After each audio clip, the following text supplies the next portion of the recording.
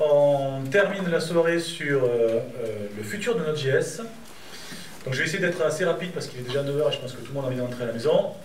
Donc je m'appelle Sébastien Pertu, je fais partie de Microsoft et je vais vous parler de ce qui va arriver euh, dans Node.js demain. on va parler un petit peu de tout ce qui est ce qu'on appelle ECMAScript et ce qui peut potentiellement arriver. Et on fera un petit tour par TypeScript pour vous montrer, alors je l'utilise plus pour euh, vous montrer le futur de Node.js que pour utiliser TypeScript en lui-même, mais ça fait partie, de, ça fait partie du truc. Si vous, voulez me suivre, c'est mon Twitter, vous l'avez en bas à droite, ça vous permettra de savoir un petit peu ce que je fais dans la vie. C'est à peu près euh, euh, résumé là-dessus.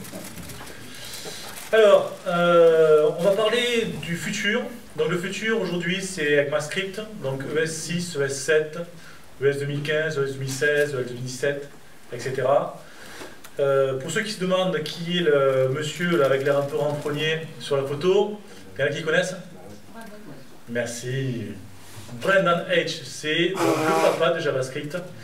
Euh, donc il fait partie euh, de ces gens-là qui ont un cerveau de génie. Il a, pour la petite histoire, il a créé JavaScript un week-end en 97-98 en 48 heures. Bon, je vais donner un petit peu les, les gars.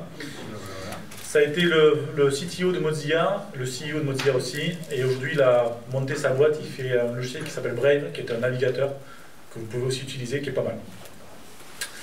Alors globalement, euh, si on parle du futur, il faut regarder d'où c'est qu'on est parti. Donc vous avez ES3, donc euh, Brennan Edge a ça en 97. Nous avons ES5, ES6, ES7 et ES8. Pardon. Il n'y a pas eu de ES4 puisqu'il avait euh, commencé, mais ça a été un gros fail pour diverses raisons. Ils sont passés directement à ES5. Je ne vais pas rentrer dans les détails, mais voilà. Si jamais on vous dit ES4, c'est le top, ils se, ils se trompent. Alors, où est-ce qu'on en est aujourd'hui pour tout ce qui est, avec ma script Sachez que ES6 est sorti en 2015. Ça fait deux ans pratiquement, voire un an et demi. La, euh, spécification est sortie en 2015. Les navigateurs l'ont implémenté aujourd'hui, euh, donc un an et demi plus tard, pratiquement à 100%. Vous avez la, la script ECMAScript 2016, dit ES7, qui est donc sorti l'année dernière. Donc, elle est implémentée en ce moment dans les navigateurs. Et donc, la prochaine spécification, qui est encore en proposition sur le TC39, est donc ES8. Donc, si on parle de futur, aujourd'hui, c'est ES8. Mais il y a plein de gens qui ne connaissent pas encore ES6, pour vous donner l'idée. D'accord? Donc, il y a un gros gap entre ce sur quoi on travaille et ce sur quoi on est obligé de travailler aujourd'hui à cause des navigateurs. Si vous voulez savoir où c'est qu'on s'en trouve au niveau des euh, d'ECMAScript, vous allez sur ce site-là, et vous verrez un petit peu euh, l'implémentation dans les navigateurs de ces spécifications. La colonne de gauche, tout en rouge, c'est IE11. Désolé. Mais évidemment, aujourd'hui, vous utilisez tous Edge ou d'autres. Donc évidemment, l'implémentation, 95% aujourd'hui pour ES6, quand vous utilisez ce qu'on appelle les Nighty Build. Aujourd'hui, les Nighty Build, tous les navigateurs l'implémentent ce qui permet d'implémenter très rapidement les spécifications qui vont arriver. Du coup, le TC39 a décidé de sortir globalement une spec par an. Donc moi, je remets mes slides à jour tous les 6 mois, globalement. Hein. Euh, donc on a ES6, ES7, ES8 aujourd'hui. Si je reviens l'année prochaine, on parlera sûrement de ES9. ES7 d'ailleurs, aujourd'hui, il est implémenté globalement à 70% dans Edge, 94% dans Firefox, 87% dans Opera et 100% dans Safari. Les navigateurs utilisent des euh, engines. Donc Chakra est donc euh, l'engine qui est utilisé par Edge.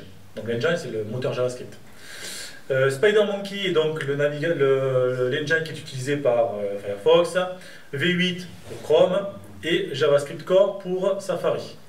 D'ailleurs, le premier engine qui a existé, le premier qui a été fait, donc par Brendan H, il y en a qui savent sur lequel c'est? C'est JavaScript Core, puisqu'il fait partie de Safari, et que Safari, c'est Mozilla. Alors, et Node dans tout ça. Node est, Node est basé sur V8, donc le moteur de Chrome. Comme Chrome suit les specs, Node, lui, par derrière, suivra aussi les specs. Où est-ce qu'on en est avec Node? Globalement, aujourd'hui, sur Node, sur ES6, ES7 et ES8, on a une implémentation qui est plutôt pas mauvaise on est entre 90 et 95% d'implémentation. Attention, quand je parle d'implémentation, alors on voit qu'à partir, il faut, quand même avoir au moins note 7, 7.3. Si vous êtes en dessous, déjà, la 6.9, on est à 18% pour ES 2017, ce qui n'est pas bon, et on était qu'à 76% sur ES 2016, ce qui n'est pas trop mal quand même. Hein, mais si jamais vous voulez vraiment utiliser les nouvelles features qui vont arriver, il vaut mieux utiliser euh, plutôt ES7. Et si vous utilisez ES8, pardon, euh, Node.js 7, pardon. Si vous utilisez Node 8, vous pourrez euh, euh, travailler un peu sur les nouvelles features. Moi, j'ai Node 7 sur ma machine, sur laquelle on va travailler. Chaque fois qu'il y a des propositions qui sont faites pour Node, vous avez un site sur GitHub qui permet de les répertorier, qui s'appelle le Node EPS. Donc c'est pour les proposals, les announcement proposals. Aujourd'hui, vous en avez quatre qui sont en cours, qui sont les streams, les ES modules, les URL, la synchroniste API. On va parler globalement de deux aujourd'hui, qui sont les ES modules et les API asynchrones. Et après, vous avez ce qu'on appelle le CTC, qui est donc le Core Technical Committees and Collaborators. Donc c'est les gens qui implémentent ça dans Node. Et vous avez, toujours pareil sur GitHub, vous avez l'ensemble de tous les meetings qui sont euh, résumés avec en plus un lien sur YouTube pour avoir leur conversation. C'est assez marrant d'écouter ces gars-là. Pour vous donner une idée, euh, ils en sont encore à vraiment discuter de comment ça fonctionne aujourd'hui, les ES modules et comment est-ce qu'ils vont l'implémenter dans le Node. Mais je vais y revenir. Je vais vous parler un petit peu de TypeScript 2. J'essaie d'aller assez vite. Si jamais vous avez des questions, n'hésitez pas à me poser des questions si vous en avez besoin. Je parle de TypeScript 2, pas pour vous faire un plugin pour TypeScript, c'est parce que je vais l'utiliser pour euh, faire du Node et pour vous montrer les nouvelles features. TypeScript 2, c'est un transpiler. Pour ceux qui veulent la différence entre transpiler et compiler, ça vous permettra de parler en soirée. Ça marche pas tout le temps, mais on ne sait jamais. Transpiler, ça permet de prendre un code source et de le transformer dans le même code source, mais d'une base différente. Dis-moi. Il me reste deux minutes. Le gardien jette dans 15. Dans 15 minutes? Alors, transpiler, compiler, vous aurez mes slides, vous lirez. donc, donc, TypeScript, ça permet d'avoir un superset de JavaScript qui permet d'avoir du typage, bla bla bla bla bla. C'est super bien, ça marche partout, c'est open source, c'est du JavaScript. Mais pourquoi est-ce que je vous en parle aujourd'hui? C'est parce que TypeScript, quand il transpile votre code vers du JavaScript, il prend la target que vous lui imposez. E ES5, ES6, ES7 ou ES8. Ça, c'est ce qu'on aimerait faire tous les jours en tant que développeur, faire du ES7. Ça, c'est ce qu'on devrait faire du Node.js, faire du ES6 globalement, voire du ES7. Et ça, c'est ce que vous devez faire en production aujourd'hui parce que vous avez des browsers à vous traîner. C'est dommage. Donc ce gap-là, c'est ce que permet de faire. Oui, oui. Il y a pire, hein. J'ai des gens chez Airbus qui travaillent sur, euh, sur IE8, hein, les pauvres. Donc ils sont ES3. Voilà. Chaque fois que je vais les voir, je fais mea culpa, je me prosterne devant eux. C'est la galère. Donc TypeScript va permettre de faire ça, de prendre votre code, de l'écrire avec les nouvelles syntaxes, les nouvelles features et de le transpiler vers ECMAScript que vous voulez. Et on va avancer au fur et à mesure que les choses avancent comme ça. C'est ça l'idée de TypeScript. Ok? C'est ce qui va me permettre un peu de vous faire des démos aujourd'hui. Alors, comment est-ce qu'on fait pour travailler avec TypeScript? Il me reste 15 minutes, c'est ça? Putain, ça va être lourd, là. Je vous montre vite fait euh, du code que j'ai écrit pendant tout à l'heure. Euh, pour aller plus vite, 1. Alors, donc vous utilisez l'éditeur de code que vous préférez. Moi j'utilise Visual Studio Code qui a le bon ton de marcher partout, Mac, euh, Windows et Linux. Et ici, vous avez un fichier de configuration qui va me permettre, vous voyez bien au fond? Sinon je peux zoomer, ça va mieux Ah, pardon. Ok. Alors, vous avez ici des options de compilation pour TypeScript qui permettent de dire vers quoi je vais transpiler. Là, j'ai mis ES 6, mais je peux descendre sur jusqu'à ES 3. L'idée, en général, on est sur du ES 5, c'est d'avoir du code ici que j'ai écrit en TypeScript. Donc là, j'ai fait du Express. Vous voyez que ça ressemble énormément à ce que vous écrivez en JavaScript. D'ailleurs, TypeScript, c'est du JavaScript. Et après, quand je le transpile, donc il faut que je lance mon transpiler. Donc faites ça comme vous voulez, avec du cube, avec ce que vous voulez. Moi, je fais un tsc-w, qui est un watcher. Dès qu'il voit un fichier qui change, qui est modifié dans mon code, il va relancer euh, TypeScript. Donc là, je le laisse tourner en fond de tâche. Et voilà à quoi ressemble mon fichier JS. Vous voyez que ça ressemble étrangement à ce que j'ai écrit en TypeScript, si ce n'est qu'il n'y a pas les espaces, et qu'ici, il utilise un require, alors que moi, j'ai utilisé la nouvelle syntaxe des modules, qui est import. Je vais y revenir juste après. Et après, lorsque je lance mon application, eh bien, je peux lui dire, alors là j'utilise, au lieu de faire un npm start ou un node.js, app.js, j'ai mis ça dans un fichier de configuration qui me permet de faire F5. Donc globalement ici il va lancer mon fichier euh, TypeScript. Ce qui est sympa dans euh, TypeScript, c'est qu'on peut faire du, euh, du pas à pas. Par exemple ici je peux faire donc F5, je lance mon serveur node, hein. voilà, je mets sur mon navigateur préféré, attends excusez-moi, plaît. Bon je reste là, t'as pas grave. Localhost. Et donc ici, je peux avoir l'intelligence. Je peux faire du pas à pas. Je peux mettre des watchers, ce qui est plutôt cool quoi. C'est enregistré. T'inquiète pas, je la fais tout le temps celle-là. Ok? Donc ça, c'est plutôt bien. D'ailleurs, euh, juste pour information, quand vous faites du, euh, du JS, alors, enfin, du, euh, du Express par exemple, je vais faire app2.ts. Voilà. Ici, ce que je peux faire, import, donc vous avez l'intelligence, qui est plutôt pas mal, Express. Donc vous voyez qu'ici, il a retrouvé tout ce qu'il est capable d'importer. Bon, je vais faire un truc étoile as express. Voilà. Et ce qui est sympa, c'est qu'en plus, vous pouvez faire var app égale express. Et ce qui est sympa, c'est qu'en plus, vous avez, l'intelligence. Ce qui est plutôt, plutôt faire. Quand on fait du JavaScript, avoir l'intelligence, c'est quelque chose de pas commun. Voilà, ce qui vous évite d'avoir des erreurs de compilation, etc. etc. Ça, c'est plutôt, plutôt sympa. Bon. Euh, du, coup, du coup, faire du express, faire ce que j'ai fait là, ça prend 30 secondes. Voire même ici, vous avez aussi l'intelligence parce qu'il sait que euh, cette méthode use va vous renvoyer une request, une response. Et même là-dedans, j'ai l'intelligence. Hein. Ouais, cookie, download, emit, end, bla bla bla bla. Bon, ce qui est plutôt sympa quand on veut travailler, ça évite de faire des erreurs. Donc, je continue. Donc je vous, ai, je vous parler de ça un petit peu pour vous montrer un petit peu ce qui est arrivé dans ES6 qui était important. ES6, ça, un an et demi. Hein. Les modules, les classes, les promises et les functions. Ça, c'est ce qui a été le plus plébiscité dans ES6 et qu'on retrouve aujourd'hui dans Node assez facilement. D'ailleurs, les modules viennent de Node au départ. Hein. C'est Node qui a implémenté les modules et qui sont donc implémentés dans le front-end. Les functions, est-ce qu'il y en a qui sont développeurs Java ou .NET dans la salle? Est-ce qu'il y en a qui ne connaissent pas du tout? Les Eurofunctions, je vais très vite, ça permet de simplifier la syntaxe. Vous voyez qu'ici, quand j'ai une, une rose.map, la fonction va me renvoyer si j'ai... Euh, pas supporté Si j'ai euh, un nom qui commence par A. Donc ça, c'est à écrire, c'est du JavaScript classique. D'abord, ce qu'on va faire, on va virer le function. Et on va mettre à la place un tiré, euh, un égal, un égal supérieur. Bon, une flèche. Du coup, c'est plus rapide à écrire. Et après, carrément, quand on n'a qu'une seule instruction, on vire les parenthèses, on vire le return, et on met directement P flèche P.startWith. C'est la même chose, c'est du sucre syntaxique. Il y a un petit euh, chips qui fait aussi qu'on garde le contexte d'exécution et le ZIS garde sa même portée. Mais bref, ça c'est ce qu'on appelle les eurofunctions. Usez-en, abusez-en parce que c'est plutôt pratique. Les modules.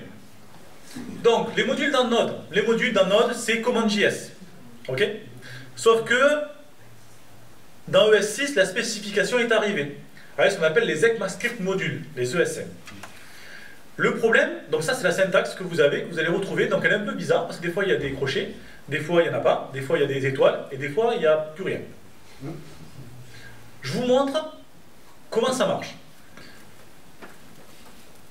Ici, donc euh, encore une fois, j'ai préparé un peu de code tout à l'heure, parce que du coup, ça va être assez rapide. Alors,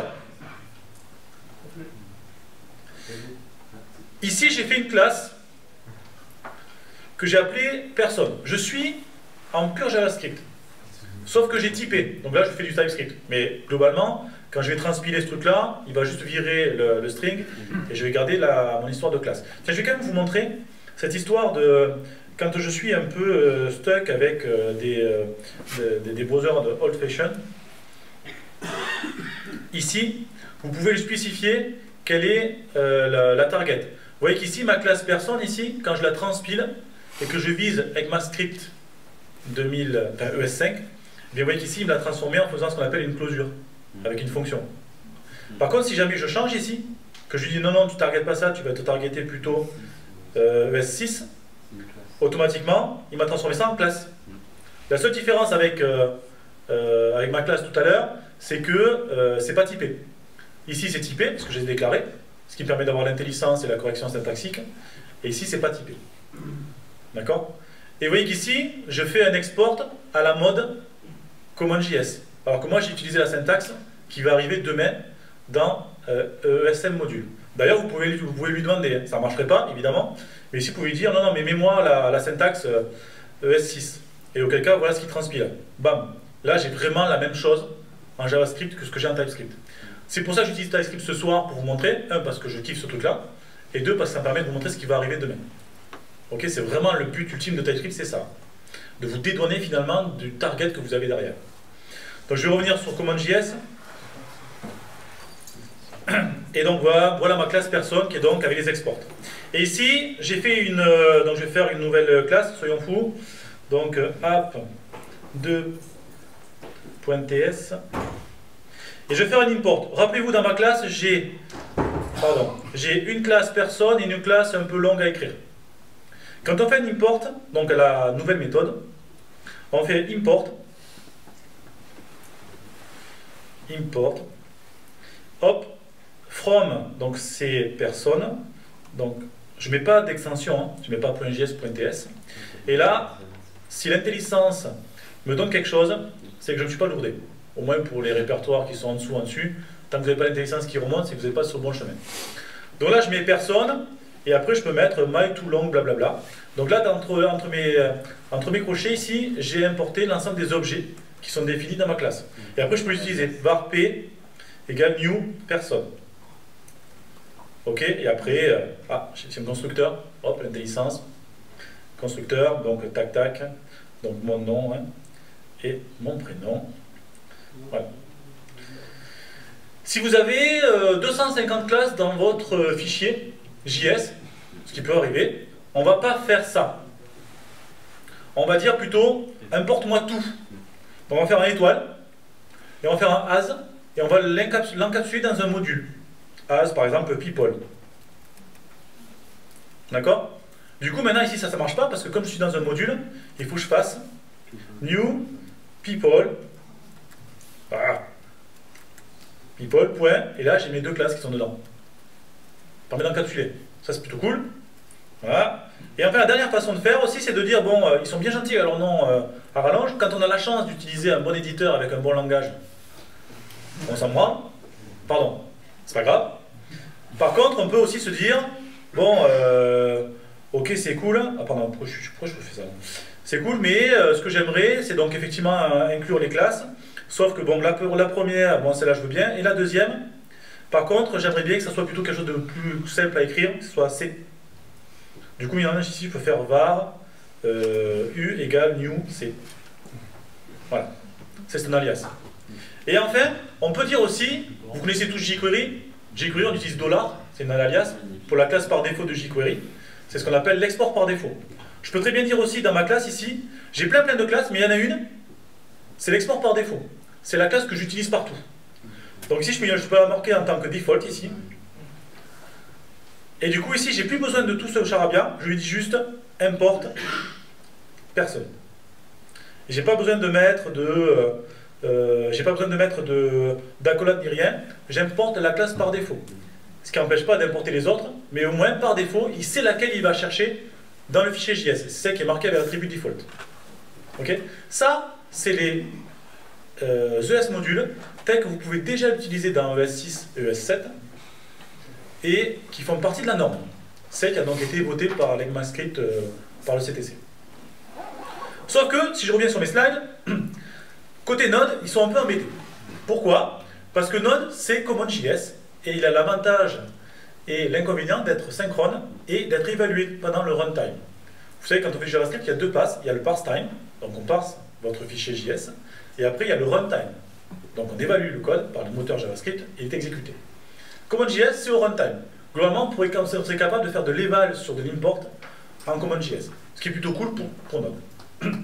Le problème, c'est qu'avec euh, ESM, donc euh, voilà la syntaxe de ES6, je vous l'ai montré, et voilà la syntaxe de Node. Si c'était qu'une histoire de syntaxe, ce ne serait pas grave. Le problème de Node, c'est que, euh, alors bon, ESM dans Node.js, une- ça, ça fait donc partie des, des, des propositions. On aimerait avoir la même syntaxe côté browser que côté Node, c'est plutôt cool, c'est ce qu'on veut. Le problème, c'est que ES, les ESM sont asynchrones et ils sont évalués pendant le parse time. Ce qui est embêtant pour Node, puisque Node, c'est synchrone et c'est évalué dans le runtime. Le cas, c'est si on n'avait pas autant de packages dans NPM qu'on a aujourd'hui, c'est-à-dire des milliers, des milliers, voire des millions, j'en sais rien, ce serait pas grave. Mais comme on est obligé de se fader l'historique et de garder la compatibilité ascendante, ils sont super embêtés là-dessus. Ok? Voilà un exemple de là où ils sont aujourd'hui un peu embêtés. Vous avez trois façons, vous avez trois modules à importer. Quand je fais du synchrone, vous voyez l'or, et quand je fais du asynchrone, c'est plus du tout le même ordre. C'est ça le problème. Et aujourd'hui, ils sont embêtés là-dessus. Ils n'ont pas encore pris leur décision de comment est-ce qu'ils allaient faire. Donc finalement, comment est-ce qu'on fait pour euh, euh, faire un module d'import qui soit compliant avec la spec ESM Eh bien, il faut faire soit un système de qui renvoie euh, des promesses ou des modules, ou alors on utilise un nouveau système de fichiers qu'on appellerait les, MJS, les modules JavaScript. Alors là, ça a été la levée de bouclier côté communauté. Ou alors on fait un double parsing time, on parse deux fois pour être sûr de l'avoir dans le bon ordre. Aujourd'hui, ils en sont là, ils n'ont pas encore pris leur décision. D'ailleurs, je vous... Donc voilà la dernière discussion qui date de début février. Vous voyez, c'était il y a 15 jours. Vous irez lire le, thread de, trucs, mais ils disent Ouais, vous comprenez, qu'est-ce qu'on fait? Attendez, on s'écarte, on parle bien des, modules. Oui, mais vous comprenez, si on fait double parsing time, ça va pas aller. Moi, j'étais parti pour proposer un nouveau système de fichiers qui était beaucoup plus performant, bla bla bla bla. Ils en sont là. Aujourd'hui, on n'a pas encore de réponse sur ce que va devenir les ESM. Ce que je peux vous montrer, c'est qu'on est quand même euh, capable de le faire avec TypeScript, mais ne vous méprenez pas. TypeScript, je vous l'ai montré, il le pourquoi est-ce que je l'ai fait moi en TypeScript? Dans mon, exemple C'est parce que nous, on n'implémente pas la norme. Nous, on fait du sucre syntaxique, après on le transforme en require. Donc je peux l'écrire avec du import, mais derrière, c'est transformé en require. Ce que veut Node, eux, c'est vraiment avoir l'implémentation de l'aspect. Et aujourd'hui, ils sont embêtés là-dessus. Voilà pour ça.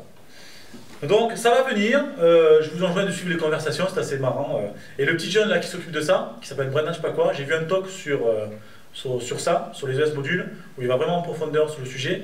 Et globalement, il est un peu débité parce qu'il a passé 6 mois à implémenter tout un truc qui a été refusé par la communauté. Donc, bon, Les joies des projets open source. je suis un grand fan d'open source, je sais pas si ça se voit sur mon PC, mais ça fait partie des trucs. Euh, A5 Programming. En ES5, vous avez tous peut-être connu ce qu'on appelle le, callback head, c'est-à-dire les fonctions qui rappellent d'autres fonctions sorties, qui rappellent d'autres fonctions sorties, qui rappellent d'autres fonctions sorties. On a eu les promesses en ES6 qui sont arrivées, qui permettent de sortir de cette euh, mauvaise pratique et qui permet globalement d'avoir quelque chose d'un peu plus flat. On fait des promesses avec un zen qui renvoie un zen qui renvoie un zen et à la fin on catch. Ça, c'est déjà un pas énorme en avant. Ça, c'était ES6. Avec ES7, qui est donc en cours d'implémentation, on a ce qu'on appelle l'Async Programming, avec Async Await, qui sont globalement, pour ceux qui, euh, qui, aiment bien, sont basés sur les générateurs, qui permet de faire du yield et qui permet de sortir d'une fonction sans avoir forcément terminé la fonction. Bref, je m'égare. Globalement, Async Await, ça permet de faire la même chose. On tag une fonction asynchrone et on l'appelle en faisant un await et finalement on fait du procédural mais asynchrone. Ce qui est plutôt cool. Ceux qui font du point net, il y en a D'accord Donc moi.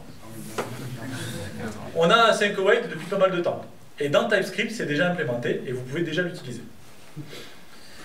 Euh, le support d'async await dans Node n'est même pas encore activé dans 7.5, sauf si vous utilisez un flag qui est le flag harmony qui permet de déloquer les features euh, pas encore bien sèches. Ok? Alors, je vous montre. Donc ici, donc j'essaie de me dépêcher. Euh, comment je fais? Euh, On va faire un nouveau fichier. Donc je vais faire ça, donc A5 demo.ts et voilà. Donc ici je vais faire. alors j'ai installé. Est-ce que j'ai installé un module qui s'appelle fetch? Oui. Donc d'abord je vais utiliser un module qui s'appelle fetch, fetch import fetch from slash euh, pardon, euh, node-fetch. Ça me permettra de faire une démo complète. Voilà. Donc après, je vais, faire une, je vais vous montrer comment est-ce qu'on fait une, méthode euh, asynchrone en Node. Donc par exemple, on peut faire une méthode qui, va s'appeler function wait. Et on va lui donner un délai, delay, de points, qui est donc un number. Je profite un petit peu de la, sémantique de, de, TypeScript. Et je la marque A5. D'accord? Déjà, ça marche parce qu'ici, j'ai targeté ES6. Donc ES6 est présent, il y a, il y a 5 dedans. Euh, donc après, je vais faire un truc qui va être une... Donc vous connaissez tous le set timeout. Donc set timeout, ok, dans lequel je donne le délai. Et après, il faut que j'appelle une fonction. Et comme je suis dans une fonction asynchrone, il faut que je renvoie une promesse. La base des fonctions asynchrones, c'est une promesse. Return new promesse. Promesse. Donc dedans, je lui passe un euh, resolve reject et flèche et je lui passe tout ça. Zip, et voilà. Et dans cette fonction, toujours pareil, on va simplifier, on va mettre une flèche. J'appelle rs. Hop. Voilà ma première fonction asynchrone. Et quand je l'appelle, je dois l'appeler en faisant un await de wait de 3000. Problème qu'il y a, c'est que les await, on ne peut... On ne peut les faire que quand on est dans une fonction qui est elle-même taguée asynchrone. Donc je peux faire un main, async main, dans lequel j'appelle ça. Ok? Et après j'appelle main. Donc pour vous montrer que ça marche, console.log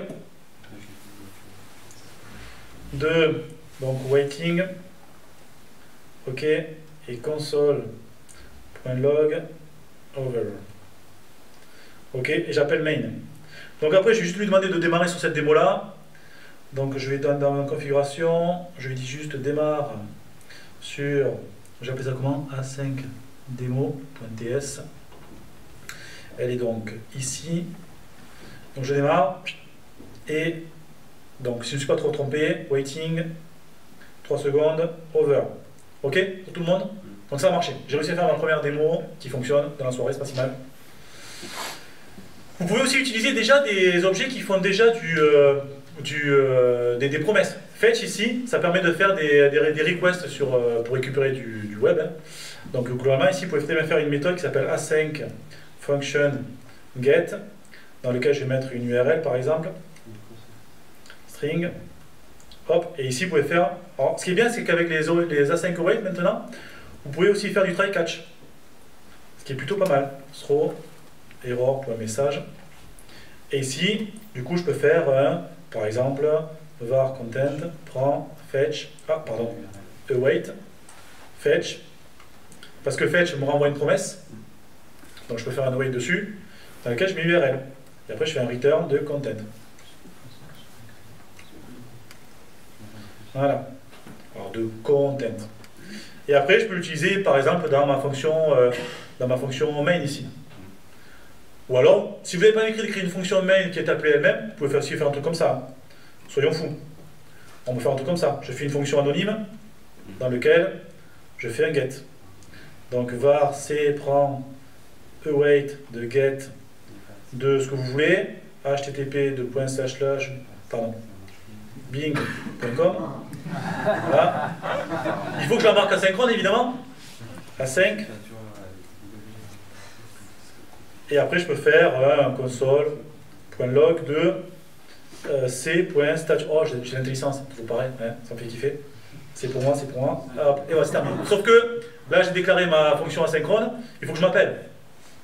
Donc, on a un JavaScript, on va pas s'embêter. Hop, hop, hop, hop. Et voilà. Donc, tout ce qu'il y a là-dedans, maintenant, est asynchrone. Je vais quand même le tester, on ne sait jamais. Donc, le statut, s'il me renvoie 200, c'est qu'il a réussi à récupérer la page. Hein. Donc là, c'est sans filet. 200, c'est bon. Il a réussi à récupérer le contenu de la page. Pour récupérer le body pour l'afficher, mais bon, c'est pour, pour, être un peu plus simple. Voilà l'idée. Sauf qu'aujourd'hui, je vous ai un peu squeezé, je vous ai un peu euh, menti, parce qu'en fait, depuis tout à l'heure, je fais ça en TypeScript, mais lui, il a généré du JavaScript. Et voilà le JavaScript qu'il a généré. Alors, c'est du JavaScript qui est plutôt propre, si vous le lisez. Il se base sur les générateurs pour utiliser ce truc-là. Et après, globalement, ici, il va faire du yield avec des générateurs ici, qui est finalement le, pas un polyfile, mais l'implémentation de la synchrone, mais pour Node. Sauf que Node, aujourd'hui, si j'active les bons flags, je peux utiliser la vraie syntaxe. Donc c'est ce qu'on va faire. Du coup, ici, je vais dire non, non, mais tu ne targetes pas ES 2015, tu targetes la prochaine version d'ECMAScript, qui n'a pas encore de nom. Parce que déjà en TypeScript, on est déjà en train d'implémenter ce truc-là. Donc je sauvegarde, et regardez, par le miracle de la technologie humaine, c'est pas le bon, pas le bon fichier, ah, c'est une démo. Vous voyez ici, regardez.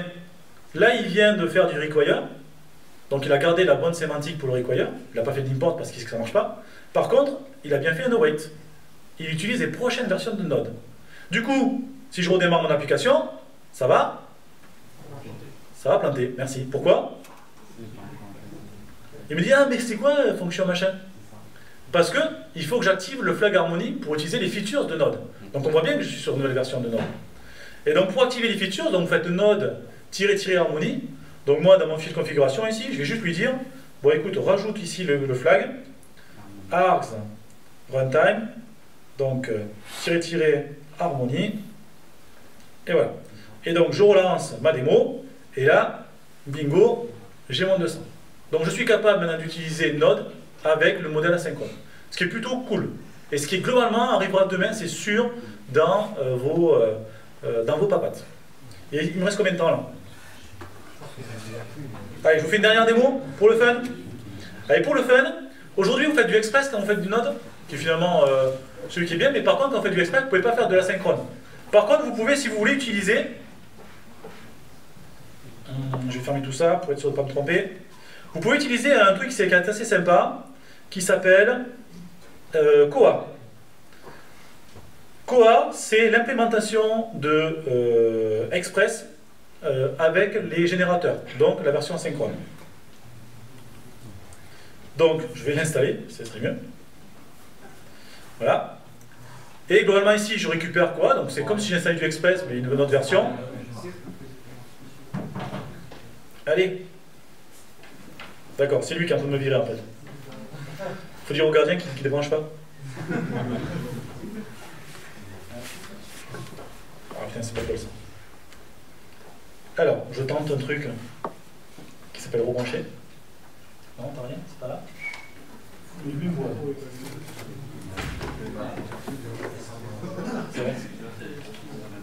C'est fini?